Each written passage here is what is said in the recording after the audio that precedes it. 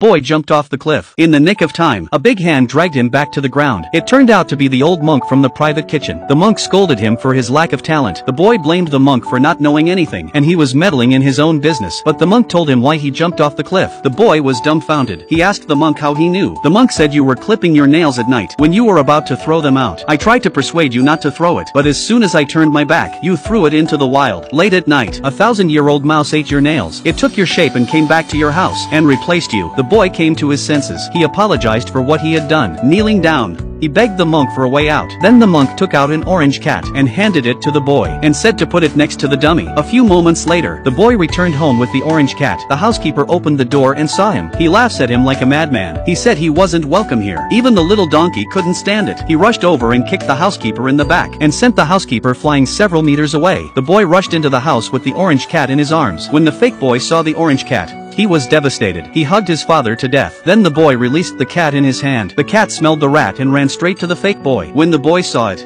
he ran away. The orange cat is right behind him. The two of them went round and round in the yard. In a moment of desperation, the fake boy runs for his life on all four legs. But mice are no match for cats. The orange cat swoops down and bites him. The fake boy screamed. With a flash of light, the fake boy turned into a big rat. Everyone was dumbfounded. The couple realized they were wrong about their son. The boy returned to his mother's arms. The father apologized for his behavior. So do you remember where you throw away all the fingernails you cut at night?